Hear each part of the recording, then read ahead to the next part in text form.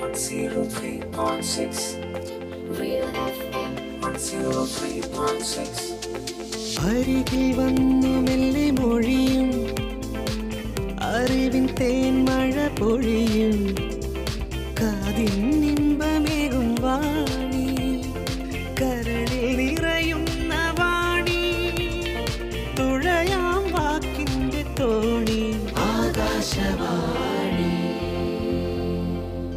103.6 Real FM.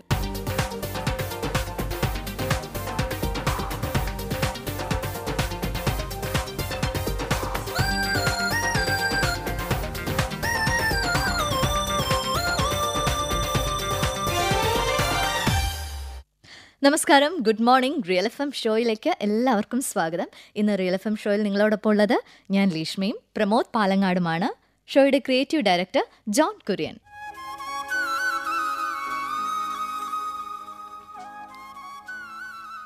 നമ്മുടെ സ്വപ്നങ്ങളിലേക്ക് പാട്ടിനെ പരാവർത്തനം ചെയ്യുന്ന വിധം തന്റെ ഈണങ്ങളിലൂടെ അത്ഭുതങ്ങൾ സൃഷ്ടിച്ച സംഗീതജ്ഞൻ.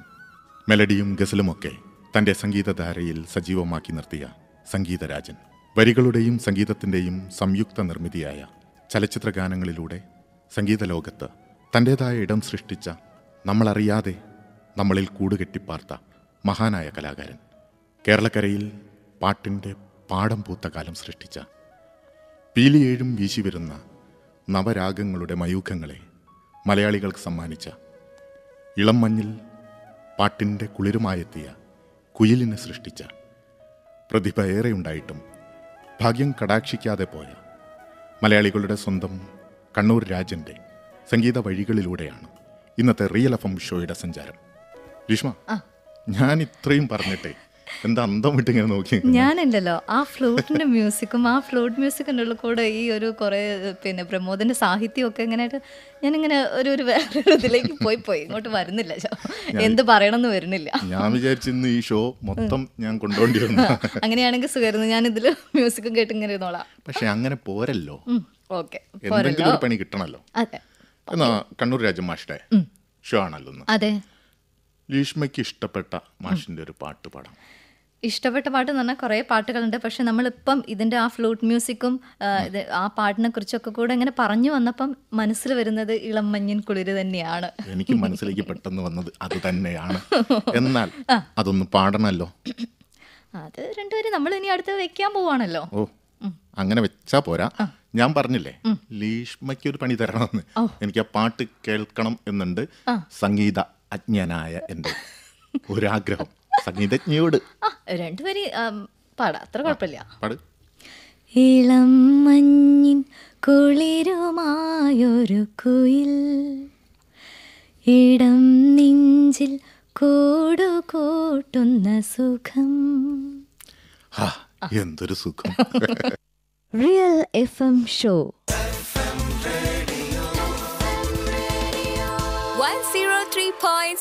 real F M അതെ പ്രമോദെ.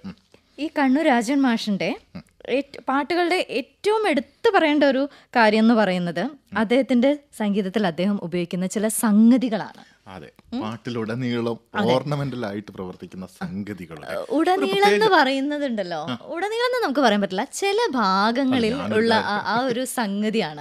അത് മൊത്തത്തിൽ വെച്ചാൽ ചിലപ്പോൾ ഒരു സുഖം ഉണ്ടാവില്ല. പക്ഷെ ആ കൊടുക്കേണ്ട കറക്റ്റ് സ്ഥലം ഏതാണോ അത് അദ്ദേഹം കൃത്യമായിട്ട് കൊടുക്കും. അതാണ് കറക്റ്റ് സ്ഥലത്ത് ഉടനീളം കൊടുത്തിട്ടുണ്ട്. പ്രശ്നം തീർന്നില്ലേ? ഓക്കെ ഓക്കെ പറ പറ. ഈ ഗാനങ്ങൾക്കെല്ലാം പല ഗാനങ്ങൾക്ക് ഈ സംഗതികൾ സ്വാഭാവികമായിട്ട് ഉണ്ടാവും. അത് സംശയമൊന്നുമില്ല. പക്ഷെ രാജമാഷിന്റെ പാട്ടുകൾ പരിശോധിക്കുമ്പോൾ ഇതുപോലെ സംഗതികൾ കൊണ്ട് അരികും മൂലയൊക്കെ വെട്ടിത്തിളങ്ങുന്ന ഗാനങ്ങളാണ് പലതും എന്ന് നമുക്ക് പറയാം അല്ലേ?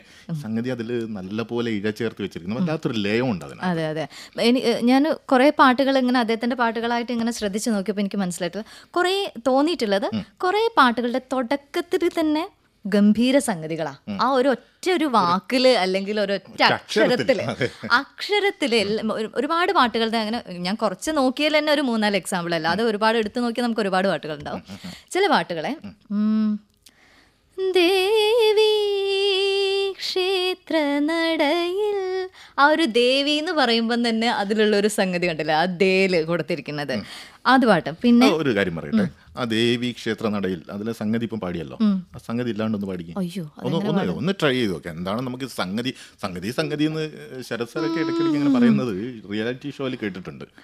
ദേവി അങ്ങനെയാണെന്നാ തോന്നുന്നത്. എന്നാലും നമുക്ക് ആ ദേവി എന്തെങ്കിലും ഒന്നും ആവാതെ നമുക്ക്. ദേവി നമ്മൾ പറഞ്ഞു പോകും. പിന്നെ അദ്ദേഹത്തിന്റെ എന്തിനിൻ ആ എന്തിനെന്ന് എടുക്കുന്നതിന്റെ മുന്നുള്ള വെറുതെയല്ല വെറുതെ അല്ല ഞാൻ നേരത്തെ പറഞ്ഞത്. അരികും മൂലയൊക്കെ വെട്ടിത്തിളങ്ങുന്നുണ്ട് അതിന്റെ. പിന്നെ തോ മഞ്ഞിൻ തുള്ളി ആ ഒരു തൂ പറയുന്നതിന് ഓരോ ഫസ്റ്റത്തെ വാക്കിൽ തന്നെ അദ്ദേഹം സംഗതി വാർദ്ധക്യ പുരാണത്തിൽ വീണ പാടും അതെ വീണമായി അതെ അതിൽ നമ്മൾ പറഞ്ഞതുപോലെ ആദ്യത്തെ അക്ഷരത്തിൽ തന്നെ ഒരു സംഗതി വീണയിൽ. ആദ്യം പ്ലെയിൻ ആണ് വീണ പാടും അങ്ങനെയാണ്. പിന്നെ അത് രണ്ട് റിപ്പീറ്റ് ചെയ്യുമ്പോ ഭയങ്കര സംഗതികൾ ആ സംഗതി എനിക്ക് വരുമോന്ന് അറിയില്ല വീണ പാടും ഒരു ഭയങ്കര ഒരു ഭയങ്കര ഭയങ്കര സംഗതികളാണ്. സംഗതി കൊണ്ട് സംഗീതം തീർത്ത. ഓ അതെ. അതെ പിന്നെ ഇത് നമ്മുടെ നമുക്കറിയാം എല്ലാവർക്കും അറിയാവുന്ന തോന്നുന്നത് നമ്മുടെ ശരത് സാറിന്റെ ഭാര്യയുടെ അച്ഛനാണ് കണ്ണൂർ രാജൻ മാഷ്. അതായിരിക്കും. ഞാൻ നേരത്തെ ശരത് സാറിന്റെ റിയാലിറ്റി ഷോ ഞാൻ പറഞ്ഞില്ലേ. അത് അദ്ദേഹമാണ് ഈ സംഗതി സംഗതി ഇങ്ങനെ പറയാൻ എന്താന്നുള്ളത്. പക്ഷെ ഇത് ഇതാണ്. അദ്ദേഹം ആ റിയാലിറ്റി ഷോയിൽ തന്നെ പറയുന്നത് കേട്ടിട്ടുണ്ട്. ഈ കണ്ണൂർ രാജമാഷിന്റെ ഏറ്റവും വലിയൊരു ഇതാണ് ഈ സംഗതി എന്ന് പറയുന്നത്. അത് ഒരു ആ സംഗതി എന്ന് പറഞ്ഞാൽ ഒരു നമ്മളിങ്ങനെ ഒഴുകി പോകുന്ന ഒരു തരം സംഗതിയാണ്. അവിടെ പിടിച്ച് നമ്മൾ കഷ്ടപ്പെട്ട് പാടുകയല്ല ഒരു സോഫ്റ്റ് ആയിട്ട് അങ്ങ് പോകും പാട്ടിന്റെ ഈണത്തിന്റെ കൂടെ അങ്ങ് ലയിച്ചു ചേരുന്ന സംഗതി. സംഗതിക്ക് വേണ്ടിയുള്ള സംഗതിയല്ല. അല്ല അതാ. അതാണ് അതാണ്. Real F M show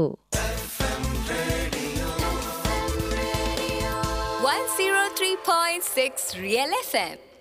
ശരിക്കും പ്രമോദെ എനിക്ക് തോന്നിയിട്ടുള്ളത് ഇദ്ദേഹത്തിന്റെ കണ്ണൂർ രാജൻ മാഷിന്റെ പാട്ടുകൾ എന്ന് പറഞ്ഞാൽ കേട്ടിടത്തോളം എല്ലാ പാട്ടുകളും സൂപ്പർ ഹിറ്റുകളാണ് ആളുകൾ പാടിക്കൊണ്ട് നടന്നിരുന്ന പാട്ടുകളാണ്. അതെന്തുകൊണ്ടാണെന്ന് അറിയാം സാധാരണത്വം കൊണ്ട് തീർക്കുന്ന ഒരു അസാധാരണത്വം ആ പാട്ടുകളിൽ അതെ അതെ. എന്തായാലും പാട്ടുകൾ എല്ലാവരും പാടിക്കൊണ്ടിരുന്ന മനസ്സിൽ ഇന്നും നിറഞ്ഞു നിൽക്കുന്ന പാട്ടുകളാണ്. പക്ഷെ എന്തുകൊണ്ടോ ശരിക്കും അദ്ദേഹം ഇത്രയും നല്ല പാട്ടുകൾ ചെയ്ത അദ്ദേഹത്തിന്റെ കാര്യം എടുത്ത് നോക്കുമ്പോൾ അദ്ദേഹം ഒരു ഒരു നിർഭാഗ്യവാനാണെന്ന് പലപ്പോഴും തോന്നിയിട്ടുണ്ട്. കാരണം അദ്ദേഹത്തിന്റെ കുറേ പാട്ടുകൾ ഉണ്ടെങ്കിലും ആ പേര് അദ്ദേഹത്തിന് ഇല്ല എന്ന് തോന്നുന്നു. പ്രതിഭാധനനായ ഭാഗ്യഹീനൻ എന്നൊക്കെ ഈശ്വര എന്ത് പറയുമ്പോൾ ഇങ്ങനത്തെ ഓരോ ഡയലോഗാണോ പഠിക്കുന്നത്. അതിനൊരു കാരണം പറയാനുമുണ്ട്. ഇത് നാട് തുഷാര ബിന്ദുക്കളെ എന്നുള്ള ആ പാട്ടിന് ആലിംഗനം സിനിമ സ്റ്റേറ്റ് അവാർഡ് കിട്ടിയതാണ്. അത് ശരിക്കും കണ്ണൂർ രാജമാഷ് കിട്ടേണ്ടതാണ് എ ടി ഉമറിനാണ് അത് കിട്ടിയത്. അതിനൊരു കഥ തന്നെയുണ്ട്.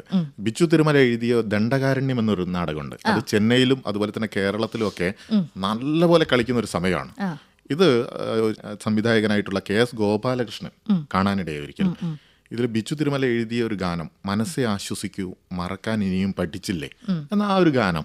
അടുത്ത ചിത്രം ആയിട്ടുള്ള ഞാൻ നിന്നെ പ്രേമിക്കുന്നു ആ ചിത്രത്തിലേക്ക് തരാമോ എന്ന് ചോദിച്ചു.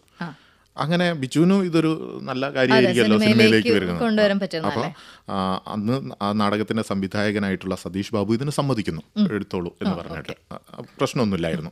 എന്നിട്ട് പകരം മറ്റൊരു ഗാനം എഴുതാൻ ബിച്ചു തിരുമലയോട് പറയുന്നു. ഈ- ഈ ഈ ഒരു നാടകത്തിന് വേണ്ടിയിട്ട്. അങ്ങനെ എഴുതിയതാണ് നേരത്തെ നമ്മൾ പറഞ്ഞ തുഷാര ബിന്ദുക്കളെ.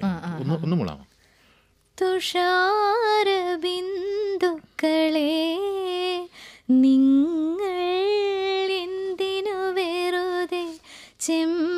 ചെമ്പനിരലരിൽ വിഷാദഭാവങ്ങൾ അരുളി.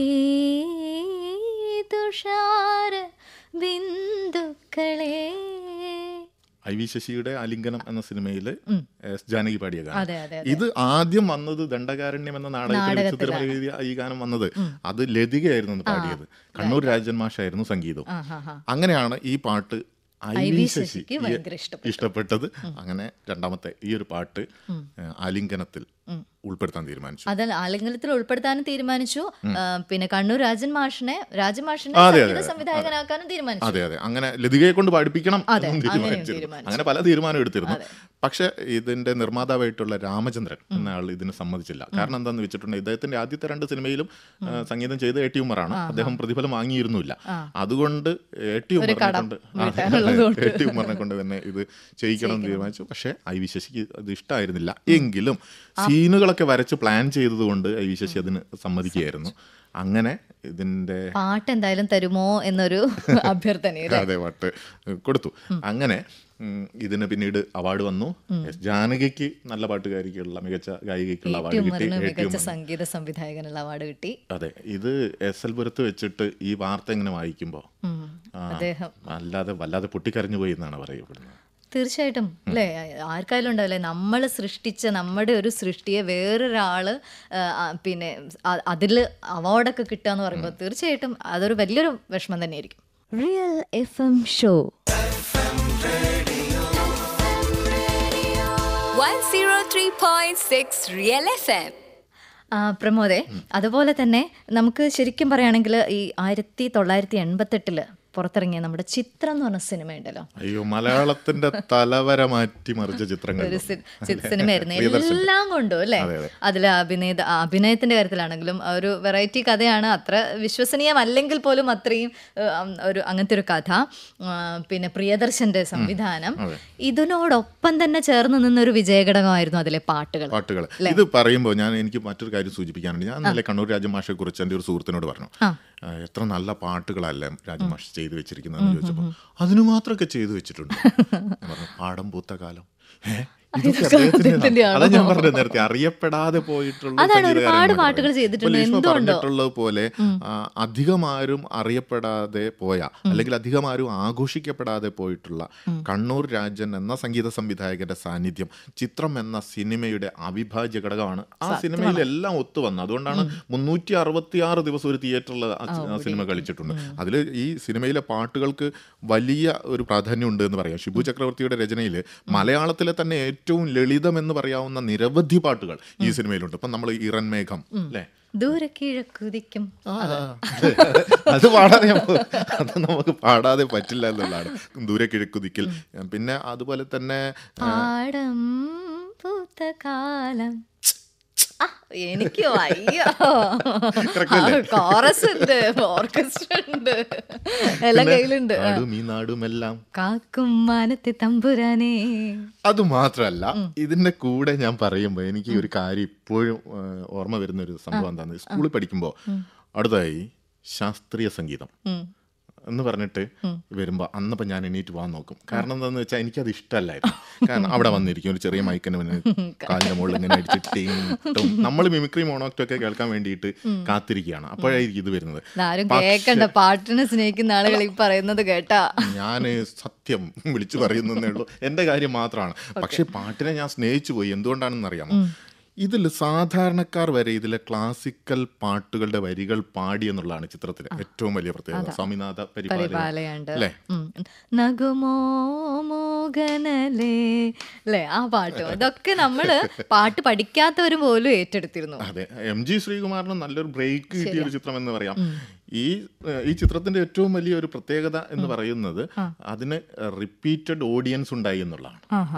ഈ പാട്ടിന്റെ ഒക്കെ ഏറ്റവും വലിയൊരു പ്രത്യേകത എന്ന് പറയുന്നത്. എത്രയോ കേസറ്റുകൾ മുഴുവൻ വിറ്റ് ഇറക്കിയത് മുഴുവൻ തിറ്റ് തീർന്നു. അങ്ങനെ എന്തൊക്കെയൊക്കെയോ ക്രെഡിറ്റുകൾ ഉണ്ട് ഈ പാട്ടിനും കേസറ്റ് അതായത് ഇത് ഈ സിനിമ റിലീസ് ആവുന്നതിന് മുമ്പ് രഞ്ജിനി കാസറ്റ്സ് കാസറ്റ് റിലീസ് ചെയ്തു.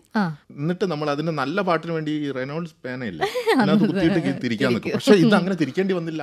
എല്ലാ പാട്ടും സൂപ്പർ ഹിറ്റുകളാണ്. അഞ്ച് ലക്ഷം അഞ്ച് ലക്ഷത്തോളം കാസറ്റുകളാണ് വിറ്റുപോയത് എന്നുള്ളതാണ്. ഓക്കെ ഇതൊക്കെ പറയുമ്പോഴും ഇത്രയും ആഘോഷിക്കപ്പെട്ട പാട്ടുകളാലും എല്ലാം കൊണ്ടും ആഘോഷിക്കപ്പെട്ട ഈ ചിത്രത്തിലെ സംഗീത സംവിധാനം ചെയ്തിട്ട് പോലും പിന്നെ ആ ആ സിനിമയിലും അദ്ദേഹത്തിന് ഒരു കൊട്ടിഘോഷിക്കപ്പെട്ടില്ല അതിനുശേഷവും അദ്ദേഹത്തിന് ഇത് ഇങ്ങനെ ഒരു പാട്ട് ചെയ്താൽ പിന്നെ പിന്നീടൊക്കെ ഇപ്പോഴൊക്കെ ആണെങ്കിൽ തുടർച്ചയായിട്ട് പിന്നെ അവരുടെ ഒരു കാലഘട്ടമായിരിക്കും. അല്ലേ? അതുപോലെയും വന്നില്ല രാജമാഷിന്റെ കാര്യത്തിൽ. അതുകൊണ്ടാണ് നമ്മൾ. കൃത്യമായിട്ട് പറഞ്ഞത്. പ്രതിഭാധനനായ ഭാഗ്യഹീനൻ. Real F M show 103.6 Real FM. ഇദ്ദേഹം തന്റെ ചലച്ചിത്ര ഗാനങ്ങളിലെ സംഗീതം തുടങ്ങിയത് ആയിരത്തി തൊള്ളായിരത്തി എഴുപത്തി നാലിലെ മിസ്റ്റർ സുന്ദരി എന്ന ചിത്രത്തിന് വേണ്ടിയിട്ടാണ്. ഓക്കെ. ആ സിനിമയ്ക്ക് ശേഷം പക്ഷെ ഏറെ ശ്രദ്ധിക്കപ്പെട്ടത് അഭിനന്ദനത്തിലെ ഗാനങ്ങളാണെന്നാണ് എനിക്ക് അഭിനന്ദനത്തിലെ. ആ യെസ് അപ്പം പക്ഷെ ഇദ്ദേഹത്തിന്റെ ഒരു തുടക്കം എന്ന് പറയുന്നത് നമുക്ക് ഈ റിയൽ എഫ് എം ഷോ നമ്മൾ ഇവിടെ ആകാശവാണിയിൽ ഇരുന്ന് ചെയ്യുന്ന സമയത്ത് അത് മറക്കാൻ പാടില്ല അത് പറയണം. തീർച്ചയായിട്ടും പറയേണ്ട ഒരു കാര്യം. അതായത് രാജമാഷ് കോഴിക്കോട് വന്നിട്ട് കോഴിക്കോട് ആകാശവാണിയിൽ പാടാൻ ഒരു അവസരം കിട്ടി. അപ്പൊ അവിടെ ഇവിടെ വന്ന് പാടിയ സമയത്ത് പാടാൻ വന്ന സമയത്താണ് നമ്മുടെ കെ രാഘവൻ മാഷിനെ പരിചയപ്പെടാൻ ഒരു അവസരം കിട്ടിയത് ഈ കോഴിക്കോട് അതെ നമ്മൾ ഇരിക്കുന്ന ഈ ആകാശവാണി പരിചയപ്പെടാനുള്ള അവസരം കിട്ടിയത്. അതായിരുന്നു ശരിക്കും ഇദ്ദേഹത്തിന്റെ ഒരു വഴിത്തിരിവ് എന്ന് പറയുന്നതും. അങ്ങനെയാണ് ഈ ഒരു സംഗീത സംവിധാനത്തിലേക്ക് ഇദ്ദേ- ഇദ്ദേഹം പോണതും. ആദ്യാദ്യം കുറച്ച് നാടക നാടകങ്ങൾക്ക് വേണ്ടിയിട്ടൊക്കെയാണ് ചെയ്തത്. പിന്നെ ആ, ലളിതഗാനങ്ങൾ ഇഷ്ടം പോലെ ആ ലളിത ഗാനങ്ങൾ ആൽബം സോങ്സ് ഒക്കെ ഒരുപാട് ചെയ്തിട്ടുണ്ട്. ഇദ്ദേഹം ആദ്യം സംഗീതം പകർന്ന ഗാനം എന്ന് പറയുന്നത് വയലാറിന്റെ ആണെങ്കിലും പിന്നീട് ഒട്ടേറെ ആളുകളുടെ രചനകൾ നല്ല രചനകൾക്ക് സംഗീതം പകർന്നിട്ടുണ്ട് എന്നുള്ളതാണ്. എനിക്ക് ഇതിനകത്ത് വേറൊരു കാര്യം പറയാനുള്ളത് എന്താന്ന് വെച്ചിട്ടുണ്ടെങ്കിൽ ഇളയരാജയെ കൊണ്ടുപോലും ഇദ്ദേഹം പാടിപ്പിച്ചു എന്നുള്ളതാണ്. മലയാളത്തിൽ ഇളയരാജ പാടിയിട്ടുണ്ട് അധികം പാടിയിട്ടില്ല അല്ലേ. അധികം ഒന്നും പാടിയിട്ടില്ല. പാടിയതായിട്ട് എനിക്ക് കറക്റ്റായിട്ട് അറിയില്ല. ആ, ഈ സിനിമ തമിഴ് കുറെ പാടിയിട്ടുണ്ട്. പാറ എന്ന ചിത്രത്തിലെ ടൈറ്റിൽ സോങ് ഉണ്ട്. അരുവികൾ ഓളം തല്ലും താഴ്വരയിൽ എന്ന് ഇലന്തൂർ വിജയന്റെ രചനയിൽ. ആ പാട്ട് ഇളയരാജയാണ് പാടിയത്. ഇളയരാജ പൊതുവെ തമിഴിൽ പാടിയിട്ടുണ്ടെങ്കിലും മറ്റുള്ള സംഗീത സംവിധായകരുടെ ഗാനങ്ങൾ അങ്ങനെ പാടിയിട്ടില്ല. അങ്ങനെ ഒരു ഇതുണ്ട് അതുപോലെ തന്നെ ഇദ്ദേഹത്തിന്റെ പാട്ട് ഈ പല്ലവിയിൽ അദ്ദേഹം പാടിയ ഇണം ചെയ്ത പാട്ടുകൾ ഉണ്ടായിരുന്നു പറഞ്ഞല്ലോ. ഇത് പാടി കഴിഞ്ഞ സമയത്തെ റെക്കോർഡിംഗ് ചെയ്ത് യേശുദാസ് അതിലെ പാട്ട് പാടിയിട്ട് പുറത്തിറങ്ങുന്ന സമയത്ത് കുറേ മാധ്യമങ്ങളും പിന്നെ നിർമ്മാതാക്കളും ഒക്കെ അവിടെ നിൽക്കുന്ന സമയത്ത് ഇദ്ദേഹം പറഞ്ഞു ഇതുപോലെ ഒരു പാട്ട് ഈ ഇത്രയും മനോഹരമായിട്ടുള്ള ഒരു പാട്ട് ഞാൻ ഈ അടുത്ത കാലത്തൊന്നും പാടിയിട്ടില്ല. ഇദ്ദേഹത്തെ പോലുള്ള പ്രതിഭകളെ കണ്ടില്ല എന്ന് നടിക്കാതെ പരമാവധി പ്രോത്സാഹിപ്പിക്കണം എന്ന് പറഞ്ഞിട്ടാണ് അദ്ദേഹം ആ സ്റ്റുഡിയോന്ന് ഇറങ്ങിപ്പോയത്. അത് ആ സമയത്ത് വളരെയധികം ആളുകൾ പറഞ്ഞ് അദ്ദേഹത്തിന് വലിയൊരു അതെ പ്രചരിച്ചിരുന്ന ഒരു സംഭവം പക്ഷെ എന്നിട്ട് പോലും പലരും കണ്ടില്ലെന്ന് നടിച്ചു. ആ പുണ്ണിയിലെ ആ പാട്ടൊക്കെ ഉണ്ടല്ലോ തുമഞ്ഞും തുള്ളിയൊക്കെ. എന്ത് മനോഹരമായ പാട്ടാണ്. Real F M show.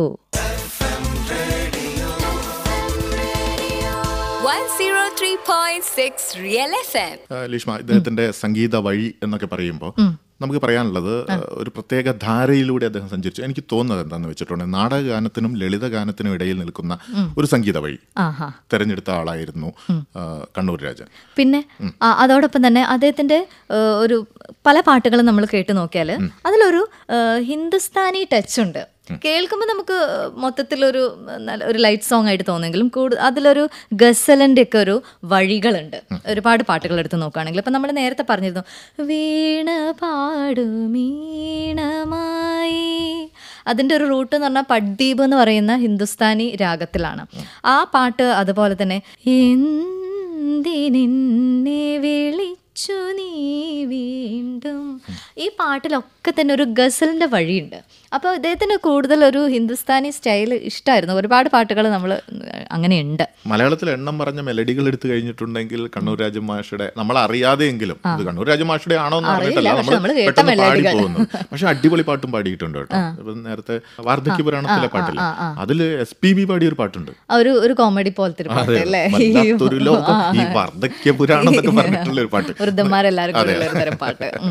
അതുപോലെ വേറെ ഒന്ന് രണ്ട് ഒരു കോമഡി ടൈപ്പ് പാട്ടുകൾ ചെയ്തിട്ടുണ്ട്. എല്ലാ ടൈപ്പും കൈകാര്യം ചെയ്തിട്ടുണ്ട് കേട്ടോ ഇദ്ദേഹം. ഇദ്ദേഹത്തിന്റെ ഗാനങ്ങളുടെ ഏറ്റവും വലിയൊരു പ്രത്യേകത പാട്ടുകളിൽ ഭാവത്തനിമ നിറച്ചു വെച്ചു എന്നതാണ് ഉദാഹരണത്തിന് ഇപ്പം നമ്മൾ പറയുകയാണെങ്കിൽ പുഷ്പതൽപ്പത്തിൻ എന്നുള്ള പാട്ട്. അതുപോലെ ദേവി ക്ഷേത്ര നടയിൽ പിന്നെ അസ്തമയ സൂര്യന് ദുഃഖമുണ്ടോ?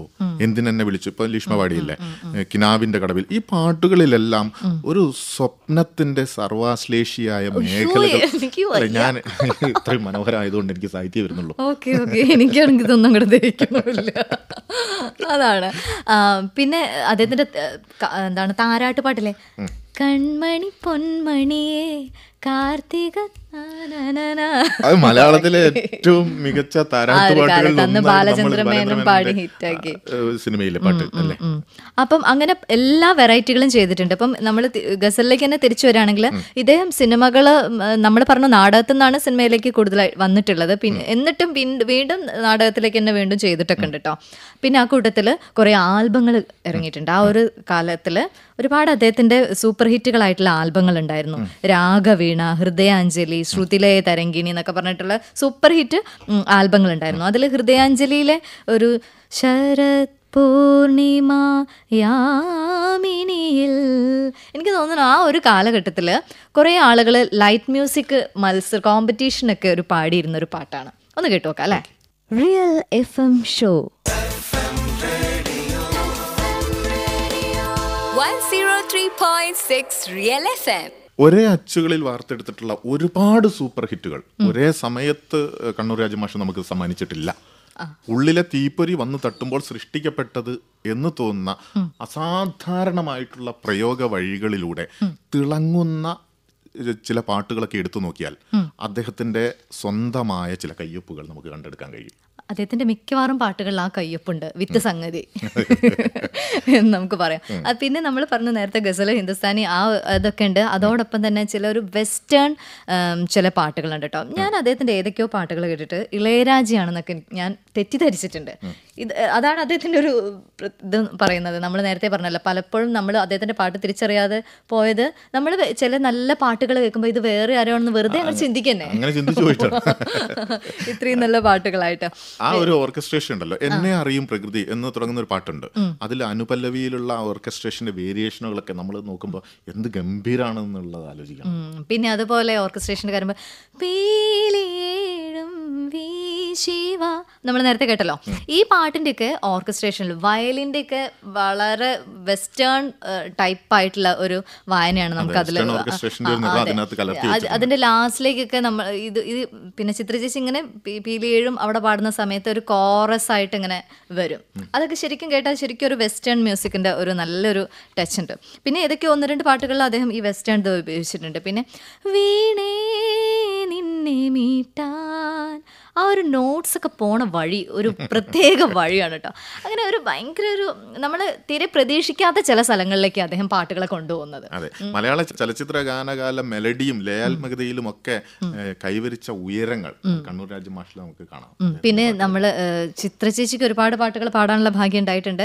നേരത്തെ നമ്മൾ പറഞ്ഞ വീണപാടും ഈണമായി എന്നൊക്കെ അതിലൊക്കെ ചേച്ചി പറഞ്ഞു ചിത്രചേച്ചി പറഞ്ഞിരിക്കുന്നത് ഇദ്ദേഹത്തിന്റെ പാട്ട് പാടുമ്പോൾ നമുക്ക് ചില നമ്മളുടേതായ ചില സംഗതികൾ ഇടാനും കൂടെ ഒരു അവസരം തരും എന്നാണ്. റിയൽ എഫ് എം ഷോ മലയാളികളുടെ പ്രിയപ്പെട്ട സംഗീത സംവിധായകൻ. കണ്ണൂർ രാജമാഷ് ഈ ലോകം വിട്ടുപോയിട്ട് ഇരുപത്തിയേഴ് വർഷങ്ങൾ പിന്നിടുകയാണ്. അതെ ഏപ്രിൽ ഏഴിനാണ് അല്ലേ? ജനിച്ചിട്ടുള്ള അദ്ദേഹത്തിന്റെ സംഗീതത്തിലെ ആദ്യ ഗുരു എപ്പോഴും അദ്ദേഹം എടുത്ത് പറയാറുണ്ടായിരുന്നു സിനിമാ കൊട്ടകയിൽ നിന്ന് ഉയർന്നു കേൾക്കുന്ന ഗാനങ്ങളാണ് എന്ന്. അദ്ദേഹത്തിന്റെ പാട്ടുകൾ ഇപ്പോഴും ഈ കാലത്തും മലയാളി ഉള്ളിടത്തോളം തുളുമ്പിക്കൊണ്ടേയിരിക്കുന്നുണ്ട്. തുളുമ്പിക്കൊണ്ടിരുന്നോട്ടെ പക്ഷെ അത് ആരാന്നും കൂടെ തിരിച്ചറിഞ്ഞിട്ട് വേണം അല്ലേ? എന്നാലേ അത് അദ്ദേഹത്തിന് ഒരു ആത്മാവിനൊരു ഇത് കിട്ടുള്ളൂ നമ്മളെ ഇടയിലേക്ക് ഇടയ്ക്കിടയ്ക്ക് വന്നിട്ട് ഞാൻ ഇവിടെ ഉണ്ട് എന്ന് മന്ത്രിക്കുന്ന പാട്ടുകളിൽ പലതും അദ്ദേഹത്തിന്റെ ആവുന്നത് ഒരു പ്രത്യേകതയാണ്. മലയാളത്തിന്റെ ചലച്ചിത്ര സംഗീത ചരിത്രത്തിൽ ഒരിക്കലും മായ്ക്കാനാവാത്ത വലിയ ഒരു അടയാളപ്പെടുത്തലായിരുന്നു പ്രതിഭയുടെ തീപ്പൊരി വീണ അദ്ദേഹത്തിന്റെ ഗാനങ്ങൾ. അതെ അദ്ദേഹത്തിന്റെ ഗാനങ്ങൾ എന്ന് പറയുമ്പോൾ നമ്മൾ പറഞ്ഞതുപോലെ മെലഡി ഉണ്ട് ക്ലാസിക്കൽ ഉണ്ട് സെമി ക്ലാസിക്കൽ ഉണ്ട് ഹിന്ദുസ്ഥാനി ടൈപ്പ് ഉണ്ട് കോമഡി ടൈപ്പ് ഉണ്ട് എല്ലാം ഉള്ള തരം പാട്ടുകളായിരുന്നു. അപ്പം അതിൽ നമ്മൾ തിരിച്ചറിയാതെ പോയതും തിരിച്ചറിഞ്ഞു പോയതും എല്ലാം ഉണ്ട്. ഇതിന്റെ ചില പാട്ടുകൾ ഏതോ ഒരു പാട്ട് കേട്ടപ്പോൾ അതിന്റെ അടിയിൽ ഒരു കമന്റ് ഞാൻ കണ്ടതാണേ. ഇദ്ദേഹം ഇപ്പൊ ജീവിച്ചിരിപ്പുണ്ടോ? ഒരു വിവരവും ഇല്ല എന്നൊക്കെ പറഞ്ഞിട്ട്. അപ്പോൾ അദ്ദേഹത്തിന്റെ മരണവാർത്തയും ഒന്നും തന്നെ ആളുകൾ അത്രത്തോളം അറിഞ്ഞിട്ടില്ല. ഈ പാട്ട് പാ ചെയ്തു കഴിഞ്ഞിട്ട് ഇദ്ദേഹം എവിടെ പോയി എന്നൊക്കെയാണ് പല ചോദ്യങ്ങളും ചോദിക്കുന്നത്. അപ്പം അദ്ദേഹം ഇപ്പം പ്രമോദ് പറഞ്ഞ പോലെ തന്നെ ഇരുപത്തേഴ് വർഷങ്ങൾ പിന്നിട്ടു അദ്ദേഹം അദ്ദേഹത്തിന്റെ മരണത്തിന് ശേഷം ഇന്നും എന്നാലും നമ്മൾ അദ്ദേഹത്തിന്റെ പാട്ടുകൾ ഇപ്പോഴും ആസ്വദിച്ചുകൊണ്ടിരിക്കുകയാണ്. അല്ലേ? ഭാഗ്യം കടാക്ഷിക്കാതെ പോയ മഹാനായ കലാകാരന്റെ മുന്നിൽ പ്രണാമം അർപ്പിച്ചുകൊണ്ട് ഞങ്ങൾ അവസാനിപ്പിക്കുകയാണ്. റിയൽ എഫ് എം ഷോയിൽ ഇതുവരെ നിങ്ങളോടൊപ്പം ഉണ്ടായിരുന്നത് ഞാൻ ലീഷ്മയും പ്രമോദ് പാലങ്ങാടും ഷോയുടെ creative director John Kurian.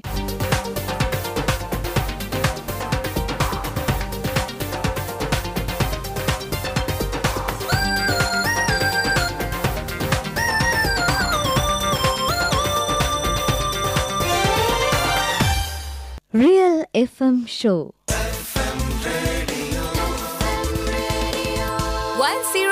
103.6 Real FM.